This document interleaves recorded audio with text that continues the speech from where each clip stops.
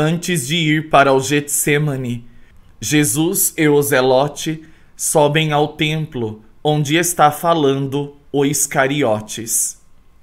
Jesus está com Simão em Jerusalém. Passam pelo meio da multidão dos vendedores e dos burrinhos, que parece uma procissão pela rua. E enquanto o fazem, Jesus diz: Subamos ao templo antes de irmos ao Getsemane. Rezaremos ao Pai em sua casa. Só isto, mestre, só isto. Não posso me deter. Amanhã, bem cedo, haverá o encontro à porta dos peixes. E se a multidão insistir, como poderei eu ficar livre de ir até lá? Quero ver os outros pastores. Eu os espalho verdadeiros pastores pela Palestina, para que reúnam as ovelhas e o dono do rebanho seja conhecido, ao menos de nome, de modo que quando eu disser aquele nome, elas saibam que eu sou o dono do rebanho e venham a mim para receber carícias. É doce ter um dono como tu.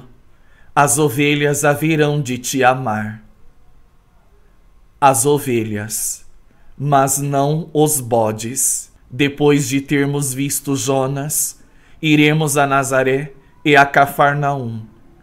Simão Pedro e os outros estão sofrendo de tanta ausência. Iremos torná-los felizes e fazer-nos felizes. Até o verão nos aconselha a isto. A noite foi feita para o repouso, e são muito poucos os que adiam o repouso ao conhecimento da verdade. O homem, ó, o homem, ele se esquece demais que tem uma alma e pensa, e se preocupa somente com a carne. O sol durante o dia é inclemente, ele não nos deixa caminhar e impede que se ensine nas praças e pelas ruas torna os espíritos sonolentos como os corpos, pois a tal ponto os cansa. E então, vamos ensinar aos meus discípulos, lá na doce Galileia, de colinas verdes e de águas frescas. Já estiveste lá? Estive uma vez de passagem, em tempo de inverno, em uma das minhas peregrinações penosas de um médico para outro. Gostei de lá. Oh, é bonita, sempre, no inverno e mais ainda nas outras estações. Agora que é verão, tem noites tão angelicais. Sim, parece mesmo que tenham sido feitas para o voo dos anjos, de tão puras que são. O lago o lago dentro do seu círculo de montes, mais ou menos próximos. Parece mesmo ter sido feito para falar de Deus às almas que procuram a Deus.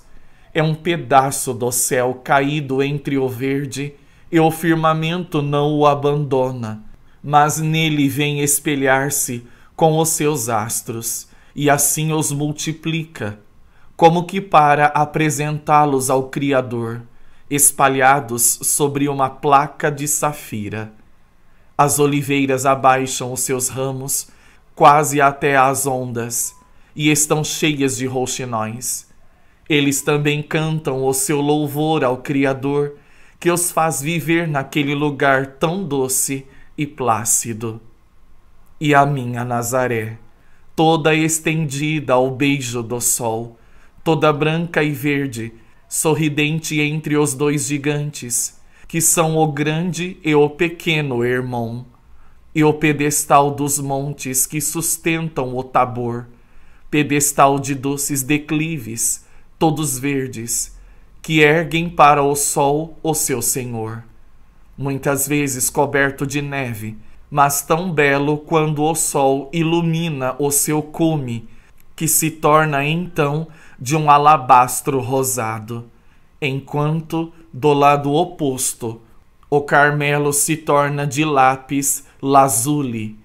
em certas horas em que o sol brilha muito e nas quais os veios dos mármores e das águas, dos bosques e dos prados se mostram em suas diversas cores. É uma delicada ametista ao raiar do sol ou um berilo azul celeste pela tarde e se torna um bloco monolítico de sardônica quando a lua o mostra todo escuro por sobre o lácteo prateado de sua luz. E depois, lá embaixo ao sul, o tapete fértil e florido da planície de Esdrelon. E depois, e depois, ó Simão, lá está uma flor, uma flor que vive solitária, recendendo pureza e amor pelo seu Deus e pelo seu filho. Lá está minha mãe. Tu a conhecerás, Simão, e me dirás se alguma outra criatura semelhante a ela, até mesmo nas graças humanas, sobre esta terra. Ela é bonita, mas toda essa beleza é superada por aquilo que emana do seu interior. Se um bruto a despojasse de todas as suas vestes, a desfigurasse e fizesse que ela saísse errante pelo mundo, ainda ela apareceria como rainha e em vestes reais, porque sua santidade lhe serviria de manto e de esplendor. O mundo pode fazer-me todo o mal, mas tudo eu perdoarei ao mundo, porque para poder vir ao mundo e remi-lo, eu a tive a humilde e grande rainha do mundo, que o mundo ignora, mas por meio da qual ele recebeu o bem, e mais ainda o receberá através dos séculos. Eis-nos ao templo.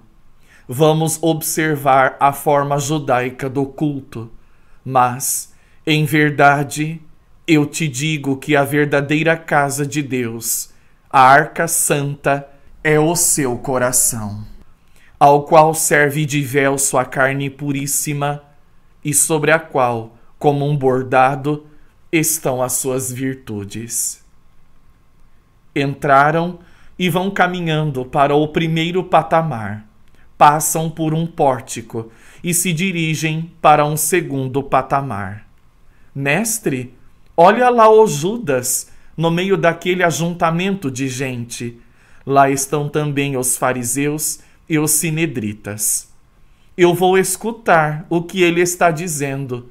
Tu me deixas? Vai, eu te esperarei junto ao grande pórtico.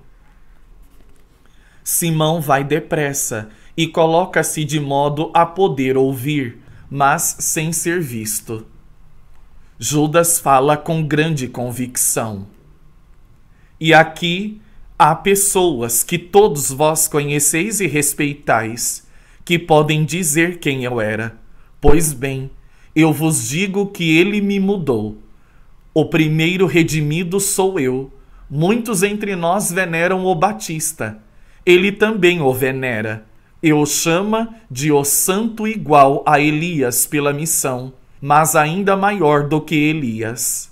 Ora, se o Batista é assim, este que o Batista chama o Cordeiro de Deus, e a respeito de cuja santidade jura tê-lo visto cingir a coroa de fogo do Espírito de Deus, enquanto uma voz dos céus o proclamava: Filho dileto de Deus que deve ser ouvido, não pode ser senão o Messias, e ele o é.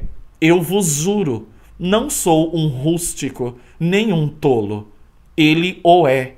Eu pude ver isso em suas obras e pude ouvi-lo em suas palavras. E vos digo: é ele o Messias. O milagre está à sua disposição como um servo à disposição do seu patrão. Doenças e desventuras caem como coisas mortas, e surgem a alegria e a saúde, e os corações mudam, ainda mais do que os corpos. Vós podeis ver isto por mim. Não tendes doentes, nem sofrimentos que pedem alívio? Se os tendes, vinde amanhã cedo, até à porta dos peixes. Ele lá estará, para fazer-vos felizes. No entanto, eis, em seu nome, vou dar aos pobres esta ajuda. E Judas distribui moedas a dois aleijados e a três cegos, e por último obriga uma velhinha a aceitar as últimas moedas. Depois despede a multidão e fica com José de Arimateia, Nicodemos e outros três que eu não conheço. Ah, agora me sinto bem, exclama Judas. Não tenho mais nada e estou como ele quer. Na verdade, não te reconheço mais. Pensava que fosse uma brincadeira, mas vejo que estás tomando as coisas a sério, exclama José. A sério, sim, ó. Oh, eu sou o primeiro a não me reconhecer. Sou ainda um animal selvagem e imundo em relação a ele, mas já estou muito mudado. E não pertencerás mais ao templo? Pergunta um dos que desconheço. Oh, não, eu sou do Cristo. Quem dele se aproxima, a menos que seja uma víbora, não pode senão amá-lo, e nada mais deseja senão a ele. Ele não virá mais aqui? Pergunta Nicodemos. Certamente virá, mas não agora. Eu gostaria de ouvi-lo. Ele já falou neste lugar, Nicodemos. Eu sei, mas eu estava com Gamaliel. Ouvi, mas não parei. Que disse Gamaliel, Nicodemos? Disse: É algum novo profeta. Não disse nada mais. E tu não lhe disseste aquilo que eu te disse, José? Tu és amigo dele. Eu disse, mas ele me respondeu: Nós já temos o Batista, e segundo as doutrinas dos escribas, pelo menos cem anos devem passar entre este e aquele, a fim de se fazer a preparação do povo para a vinda do rei. Eu acho que são necessários menos. Ele acrescentou, porque o tempo já se completou, e terminou dizendo: eu, porém, não posso admitir que o Messias se manifeste assim. Um dia pensei que começasse a manifestação messiânica, porque o seu primeiro esplendor era verdadeiramente um relâmpago no céu. Mas depois fez-se um grande silêncio, e eu acho que me enganei. Experimenta falar disso outra vez. Se Gamaliel estivesse conosco e vós com ele, eu não vou-lo aconselho, objeta um dos três desconhecidos. O sinédrio é poderoso, e Anás o dirige com astúcia e avidez. Se o teu Messias tiver amor à vida, eu o aconselho a permanecer obscuro, a não ser que ele se imponha pela força. Mas, nesse caso, aí está Roma. Se o sinédrio o ouvisse, se converteria ao Cristo.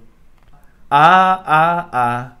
Riem os três desconhecidos e dizem: Judas, pensávamos que estivesses mudado, mas que ainda fosses inteligente. Se é verdade o que dizes dele, como podes pensar que o sinédrio o siga? Vem, vem, José, é melhor para todos. Deus te proteja, Judas. Estás precisando disso e lá se vão. Judas fica sozinho com Nicodemos. Simão se afasta dali sem fazer barulho e vai ao encontro de Jesus. Mestre, eu me acuso por haver cometido o pecado de calúnia com a palavra e com meu coração. Aquele homem me desorienta. Eu pensava que ele fosse quase um inimigo teu, mas eu o ouvi falar de ti de tal modo que poucos dentre nós o fazem, especialmente neste lugar, onde o ódio poderia suprimir primeiro o discípulo e depois o mestre. Eu ouvi dar dinheiro aos pobres e tentar convencer os sinedritas. Estás vendo, Simão? Eu estou contente que tu o tenhas visto num momento assim. Dirás isto também aos outros quando o acusarem. Bendigamos ao Senhor por esta alegria que me estás dando, pela tua honestidade em dizeres: Eu pequei, e pelo trabalho do discípulo, que pensavas que era mau, e não o é. Rezam por muito tempo e depois saem. Ele não te viu? Não, tenho certeza disso. Não lhe digas nada. É uma alma muito doente. Um elogio seria como um alimento dado a alguém que está convalescendo de uma febre alta e com o estômago ainda enfraquecido. Faria que ele piorasse, porque se enalteceria ao saber-se notado. E onde entra o orgulho, eu ficarei calado. Para onde vamos? Vamos procurar o João. Numa hora de calor como esta, ele deve estar na casa do olival. Vão apressados, procurando alguma sombra, pelas estradas que parecem incendiadas pelo calor do sol. Superam o subúrbio poeirento, passam pela porta do grande muro, saem no campo cheio de uma luz ofuscante, e deste nas oliveiras e depois das oliveiras chegam à casa. Na cozinha fresca e escura por causa da cortina colocada à porta está João. Cochila e Jesus o chama. João, és tu, mestre? Eu te estava esperando hoje à tarde. Eu vim antes. Como tens passado, João? Como uma ovelha que perdeu seu pastor estive falando a todos de ti, porque falar de ti era para mim, de certo modo, ter-te comigo. Falei a alguns parentes, a conhecidos e a estranhos, também a Anás, e a um aleijado, do qual com três denários me fiz amigo. Eles me haviam sido dados, e eu os dei a ele. Também a uma pobre mulher, da idade de minha mãe, que chora em uma roda de mulheres, na frente de uma porta. Eu lhe perguntei: Por que choras? E ela me falou: O médico me disse: Tua filha está tuberculosa. Conforma-te. Com as primeiras chuvas de outubro, ela morrerá. Ela é a única que eu tenho. É bonita, boa e tem 15 anos. Devia ficar noiva na primavera mas ao invés do baú para o enxoval, eu vou ter que lhe preparar um sepulcro. Eu disse a ela: Eu conheço um médico que a pode curar, se tiveres fé. Ninguém mais a pode curar. Três médicos a examinaram. Cospe já sangue. Mas o meu, eu disse, não é um médico como os teus. Ele não cura com remédios, mas com o seu poder. É o Messias. Então uma velhinha disse: Ó, oh, acredita, Elisa, eu conheço um cego que recebeu a vista por meio dele. E a mãe então passou da desconfiança à esperança. E te está esperando. Fiz bem? Não fiz mais do que isto. Fizeste bem. E à tarde iremos às casas dos teus amigos. Não viste mais o Judas? Não vi, mestre, mas ele me manda alimentos e denários que eu dei aos pobres. E ele me mandou dizer que fizesse uso deles também, porque eram seus. É verdade. João, amanhã vamos para a Galileia. Fico alegre com isto, mestre. Penso em Simão Pedro, quem sabe como ele te espera. Iremos passar também por Nazaré? também. E lá faremos uma parada à espera de Pedro, André e de teu irmão Tiago. Ó, oh, ficaremos na Galileia? Lá ficaremos por algum tempo. João se sente feliz, e com essa sua felicidade, tudo termina.